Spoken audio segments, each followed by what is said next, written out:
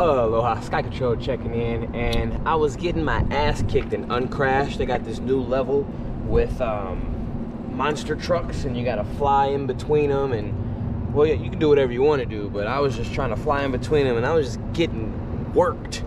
So I got hungry, and I decided to go to the grocery store to go get some food. Bring your drone. It's about 10:35. Going on a little night run. Yes, sir.